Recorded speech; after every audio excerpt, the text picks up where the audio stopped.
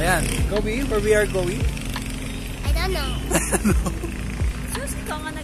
Hello guys! For today's video, i-feature natin tong isang sikat na sikat na Only Wings for only 299 dito yan sa may Levi Mariano Avenue, Taguig. Open nga pala sila ng 10am hanggang 1am ng madaling araw. Dito yan sa Primus Diner, Hot Buffalo Wings. Actually, iba, matagal na kami nakapunta rito at paulit-ulit hindi pa to sikat, nandito na kami. Dahil masarap ang kanilang Only Wings at quality talaga. Dami na kinainan ko Only Wings. Para sa akin ha, para sa akin lang ito. Ito ang top 1 na pinakamasarap na Only Wings na kinainan ko. Meron din pala silang branch sa Makati at sa Pasig. Yung Pasig merong aircon dito sa Tagig, wala siyang aircon. Pero ito yung nagsimula kaya lumaki ang Primos Diner. Kaya, let's go! Ang unang in-order nga pala namin itong buffalo wings nila at yung kanilang garlic parmesan. So, i-check natin kung anong lasa nito.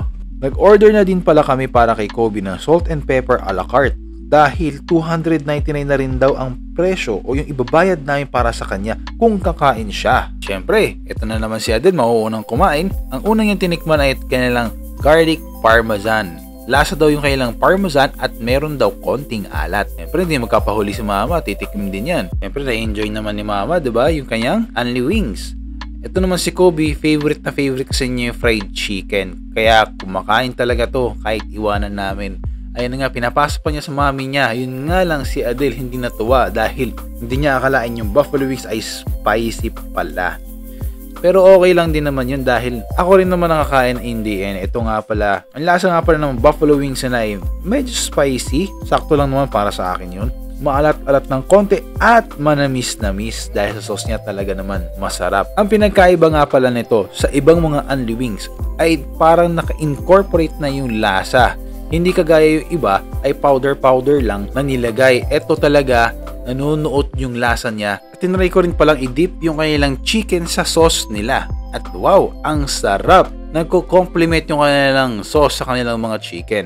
Pero the chicken itself, okay na rin pala yun. Hindi nga pala only yung sauce. Hanggang dalawang refill lang daw po pwede. Oo nga pala, meron nga pala silang 11 na flavors. So napakadaming flavors to choose. Siyempre, hindi namin kayang ubusin yon Kaya, yung mga bestseller lang ang in-order namin. Dumating na yung aming next na order. Itong kanilang honey mustard. Ito ang aking itatry. Yan, inamoy ko pa nga at mabango. Kaya, inain ko. Yung lasa ng kailang honey mustard ay honey and mustard. So yun yung basically na lasa niya.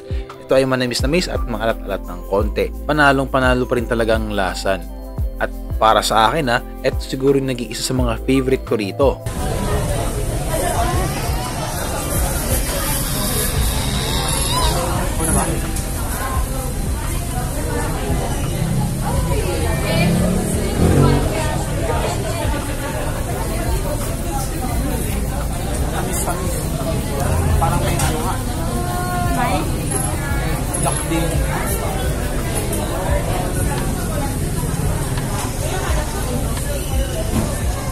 Hindi naman matalos ang Jack Daniel lang.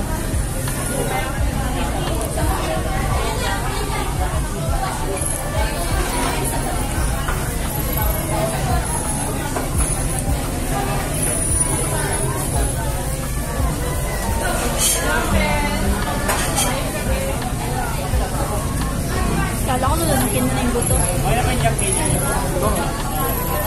Oh, nasa bibig niya na nga eh. Hindi na lang sinit niya natin.